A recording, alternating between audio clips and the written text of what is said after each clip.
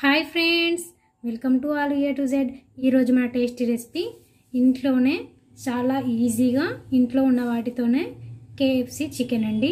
చాలా చాలా టేస్టీగా సూపర్గా ఉంటాయి ఫ్రెండ్స్. ఏం చక్క ఇంట్లో ఇలా కేఎఫ్సి చికెన్ చేసి పిల్లలకి ఇచ్చారంటే చాలా చాలా లైక్ చేస్తారండి. వీడియో ఎక్కడ స్కిప్ చేయకుండా ఎండ్ వరకు చూడండి.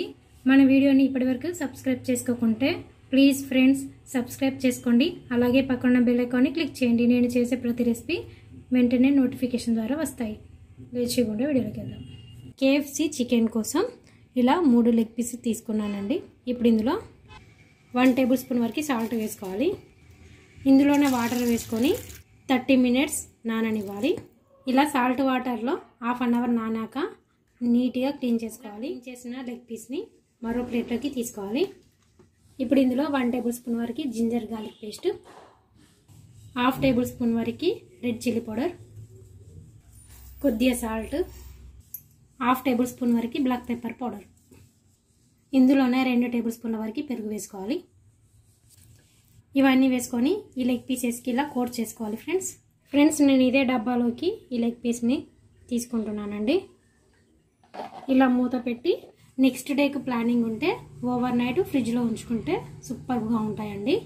నాకు ఇక్కడ ఎక్కువ టైం లేదు కాబట్టి నేను ఒక ఫోర్ ఫైవ్ అవర్స్ ఫ్రిడ్జ్లోకి ఫ్రిడ్జ్లో ఫైవ్ అవర్స్ ఉంచుకున్నానండి. నెక్స్ట్ నెక్స్ట్ ఒక ప్లేట్ తీసుకొని హాఫ్ కప్ వరకు రైస్ ఫ్లోర్ వేసుకోవాలి. ఇప్పుడు ఇందులో మనం మ్యారినేట్ చేసుకొని పక్కకు తీసుకున్న లెగ్ పీసెస్ వేసుకొని ఇలా డిప్ చేసుకోవాలి. ఇలా డిప్ చేసుకొని మరో ప్లేట్లోకి తీసుకోవాలి. మిగతా వాటిని కూడా రైస్ ఫ్లోర్లో ఇలా డిప్ చేసుకోవాలి. చూడండి ఫ్రెండ్స్ లెగ్ పీస్ని ఇలా రైస్ ఫ్లోర్లో డిప్ చేసుకున్నాక వీటిని పక్కకు తీసుకొని రెండు ఎగ్స్ వేసుకోవాలి. ఇలా విస్కర్తో బీట్ చేసుకోవాలి. ఎగ్స్ని ఇలా బీట్ చేసుకొని పక్కకు తీసుకోవాలి ఫ్రెండ్స్. ఫ్రెండ్స్ ఇప్పుడు మరో ప్లేట్ తీసుకొని పావు కప్పు వరకు మైదా పిండి వేసుకోవాలి. ఇందులోనే పావు కప్పు వరకు కార్న్ఫ్లోర్ వేసుకోవాలి. ఇందులోనే పావు కప్పు వరకు బ్రెడ్ క్యూబ్స్ వేసుకోవాలి.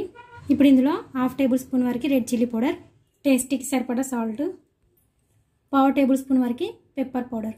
ఇవన్నీ వేసుకున్నాక చక్కగా కలిసేలా కలుపుకోవాలి ఫ్రెండ్స్. ఇప్పుడు ఒక్కొక్క లెగ్ పీస్ తీసుకొని మనం బీట్ చేసుకున్న ఎగ్గు మిశ్రమంలో ఇలా డిప్ చేసుకోవాలి. ఇలా డిప్ చేసుకొని మనం కలిపి పెట్టుకున్న మైదా పిండి ఫ్లోర్లో ఇలా డిప్ చేసుకోవాలి. లెగ్ పీస్కి చక్క పట్టేలాగా డిప్ చేసుకోవాలి ఫ్రెండ్స్ ఇలా చేసుకొని వేడి చేసుకున్న ఆయిల్లో వేసుకోవాలి. మిగతా వాటిని కూడా ఇదే విధంగా చేసుకోవాలి ఫ్రెండ్స్